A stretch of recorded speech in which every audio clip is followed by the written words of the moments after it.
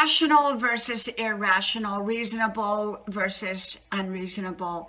Hello, y'all. I'm Dianna Brianne. I don't give advice, suggestions, information, recommendations. I just share with you my perspective on different topics as is with this one. You know, there are rational people and irrational people. Um, rational behaviors, irrational, reasonable people, and unreasonable people. And so when I'm talking to somebody, I try to assess and determine is this person rational or not rational? Are they reasonable or not reasonable? Because a reasonable person will understand or try to understand what you are saying or what you're presenting. An irrational one or an unreasonable person often will not.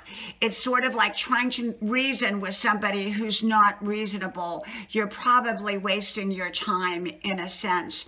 And so for me personally, when I'm around people that are unreasonable, I tend to get away. I tend to get away because I realize that nothing I'm going to say to an irrational or, or unreasonable person is going to probably um, uh, um, compute with them in the way that I wanted to compute. So, you know, unreasonable people are not going to reason. They're really not going to reason.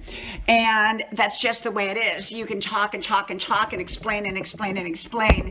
But in my opinion, an unreasonable person is not going to get it or choose to get it. Sometimes they do understand it, but they choose not to get it, so to speak. And so with people like that, I just tend to go the other way, so to speak. From my house to yours, may God bless you. I do hope you like, share, subscribe, and I hope to talk to you soon again. Bye-bye.